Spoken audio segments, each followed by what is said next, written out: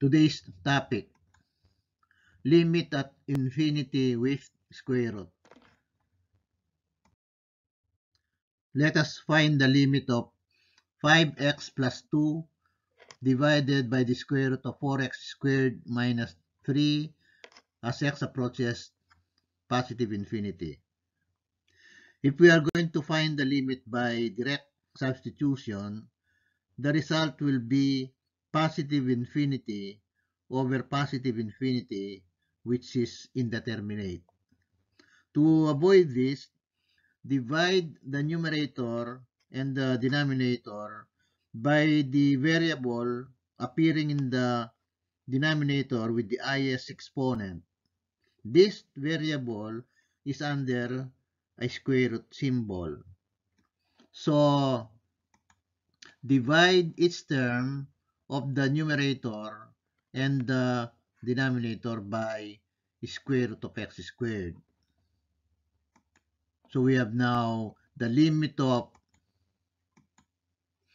5x over the square root of x squared plus 2 over the square root of x squared divided by the square root of 4x squared minus 3 over the square root of x squared as x approaches positive infinity.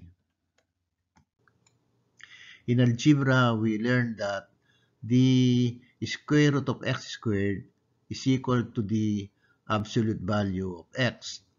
And the absolute value of x is equal to positive x if x is greater than or equal to 0. And it is equal to negative x if x is less than 0. So we can replace the square root of x squared here and also here with absolute value of x. So this is now equal to the limit of 5x over the absolute value of x plus 2 over the absolute value of x. And for the denominator, we can apply this property of radicals.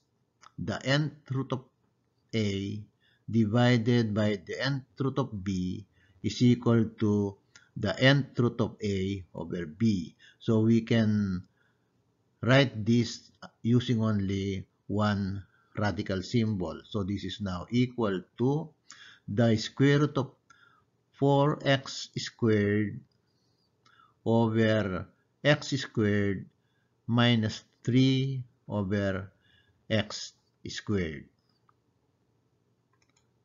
we are solving for the limit of 5x plus 2 divided by the square root of 4x squared minus 3 as x approaches positive infinity. So x is approaching positive infinity and x is greater than 0.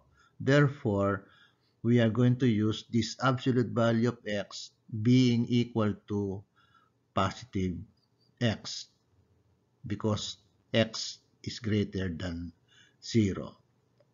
So we can replace this absolute value of x by x and this absolute value of x also by x. And then cancel x squared and x squared. We have only here 4 minus 3 over x squared this is now equal to the limit of 5x over x plus 2 over x divided by the square root of 4 minus 3 over x squared as x approaches positive infinity. 5x over x is equal to 5. We can now find the limit of the numerator and the limit of the denominator. This is now equal to the limit of 5 as x approaches positive infinity plus the limit of 2 over x as x approaches positive infinity divided by the square root of the limit of 4 as x approaches positive infinity minus the limit of 3 over x squared as x approaches positive infinity. The limit of 5 as x approaches positive infinity is equal to 5. And the limit of 2 over x as x approaches positive infinity is equal to 0. So, plus 0. The limit of 4 as x approaches positive infinity is 4. And the limit of 3 over x squared as x approaches positive infinity is equal to 0.